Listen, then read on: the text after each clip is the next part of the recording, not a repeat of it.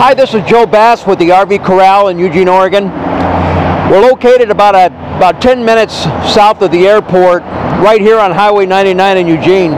It's kind of a foggy, kind of a cloudy day today, but I'll tell you what, in Oregon, every day is a great day. You know, we've got some of the greatest places to go around and camp and fish. There's so much to do here in Oregon. People come from all over the United States just to come to Oregon to enjoy our nature and to enjoy the mountains and the streams and the fishing. But enough of that, folks. Uh, the reason why I'm here today is to show you a nice little unit. It's a 2006 Jayco Jay Series 806. It's a short little tent trailer. It weighs about 1,468 pounds. So it's real lightweight. You can tow this with a van. And you can see it's got the dual beds on each side. You got a queen on one side, you got a full on the other. Now, in case you don't know, this one here comes with an awning. It's got an awning bag right there that it comes in on, and the, all of the hardware and everything is stored up inside of that, that bag up there. That unzips and it all comes out.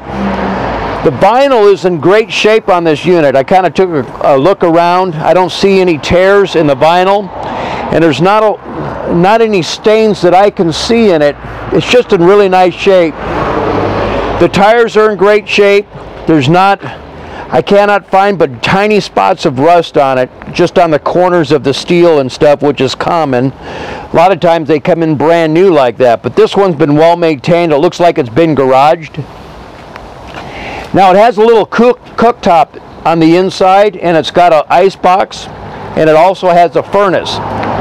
So it's completely self-contained. You got everything you need to camp out with. And it has a that cooktop right there that's on top of that countertop right there will mount outside as well. So you can set that outside and cook on it. And you can see the queen bed on the one side and a full bed on the other. It comes with a table that is uh, that you can set up either inside the trailer or you can take it outside and set it up. So it's kind of a great, uh, it's a great way to do it where you don't have that fixed table on the inside you have to walk around all the time. You can move it out of the way. It's a great unit. Let's just take a quick look at the outside so you can see the condition of this vinyl. Because that's the thing that's going to go out on you sooner than anything else. If anything does wear out, it's going to be the vinyl. So you want to start out with something that's tightly sewn and doesn't have any tears or any stains in it, and this just doesn't have that. So you're starting out with a very good vinyl on the outside, great condition. The screens on here are not torn anywhere. Same thing on this back side. This whole side right here is one big window.